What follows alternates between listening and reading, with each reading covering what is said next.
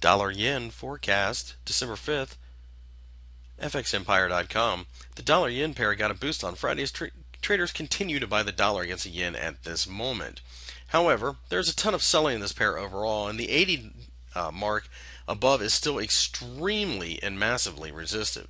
With this in mind, we prefer selling at higher levels as this pair will continue to be a sell the rallies type of pair. The trade going forward will be in that vein, and we are not willing to buy at this time. Any sign of weakness in this pair gets us short again.